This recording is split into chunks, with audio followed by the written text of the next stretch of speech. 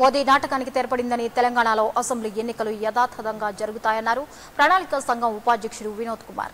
పార్లమెంట్లో ప్రవేశపెట్టిన మహిళా బిల్ పాస్ ఫ్లాప్ రెండు వేల ఇరవై తొమ్మిది ఎన్నికల్లో డీలిమిటేషన్ జరుగుతుందన్నారు. రిజర్వేషన్లు ఆ తరువాతే అమలవుతాయని ప్రధాని మోదీ మహిళల్లో ఆశలు రేపి వాటిపై నీళ్ళు చల్లారని వినోద్ కుమార్ తెలిపారు. నాటకమాడి యావత్తు మహిళా లోకము ఒక అభిప్రాయానికి వచ్చిండ్రు.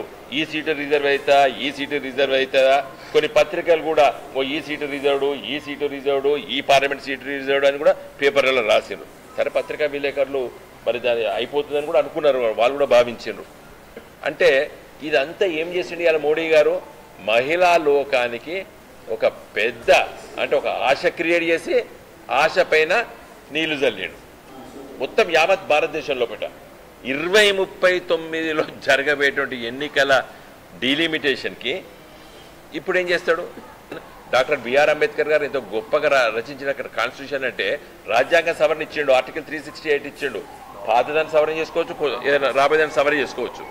సో రెండు వేల రెండు దాన్ని సవరణ చేయకుండా మోడీ గనియాలు డిమాండ్ చేస్తున్న ఫస్ట్ టైం. రెండు వేల రెండులో జరిగినటువంటి రాజ్యాంగ సవరణ ద్వారా ఇరవై ముప్పై వరకు డీలిమిటేషన్ ఉండదు. దాని తదనంతరం జరిగేటువంటి మొదటి సెన్సస్ అంటే ఇరవై ముప్పై ఒక సెన్సస్ అనేది అయితే పదజాలము రాజ్యాంగంలో ఇప్పుడు ఉన్నదో ఈ రోజు ఉన్నది రాజ్యాంగంలో. ఆర్టికల్ ఎనభై రెండు చదవండి. ఆర్టికల్ నూట డెబ్బై సబ్ క్లాస్ మూడు చదివితే దీంట్లో twenty twenty six and thereafter first census అన్నాడు. కాబట్టి దాని